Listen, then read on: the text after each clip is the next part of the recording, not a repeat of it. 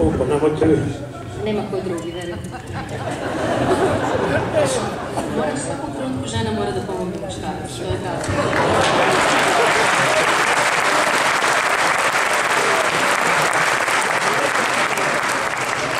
Jelena, da vam priznam, želeo sam da vam donesem cveć.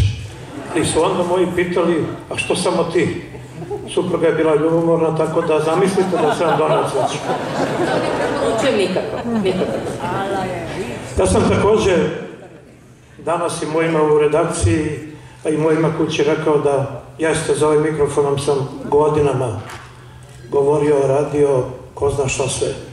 Ali verujte mi da nikada veća odgovornost, veće uznemirenje u onom pozitivnom smislu nisam imao kao večeras. Ja bih, ja bih vas zamolio da još jednom gromko pozdravimo dobitnike.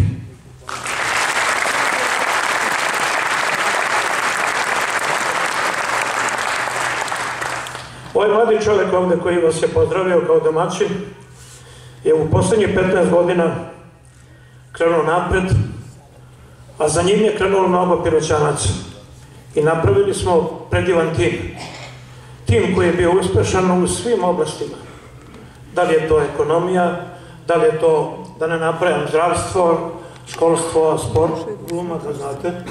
Tako da smo postali grad o kojem se govori. Ja sam želeo da kažem koju reč o istoriji, vi ste mi uzeli taj deo teksta. Pirot je nekada imao kaldrmu, po nešto od toga pamtim.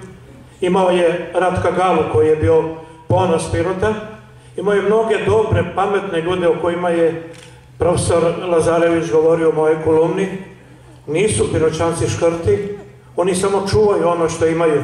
Tako da sve ono što se pričalo o nama nije tačno.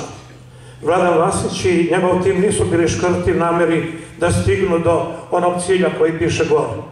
Dakle, za njim je krenuo jedan veliki tim. U tom timu su i oni u čije ime se ja zahvaljujem. Hvala vam puno. Ja sad naravno moram pet rečenica koliko je teško da kažem o sebi. Ja se zahvaljujem roditeljima koji su govorili živi da bi radio. Potom sam došao u Radio Pirot, Tomislavu Panajotoviću zahvaljujem za posao koji sam naučio. Zahvaljujem se jednom čoveku koji je smatrao da posle 28 godina treba da budem oteran iz radija zbog jedne emisije koja je bila uz narod. Tada se rodio Radio Plus i od tada je krenuo jedan novi život.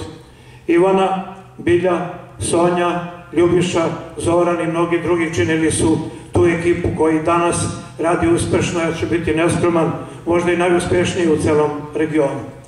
Ja sam pre 8 godina dobio priznanje, uh, bio je to priznanje Udruženja novinara Srbije za životno delo.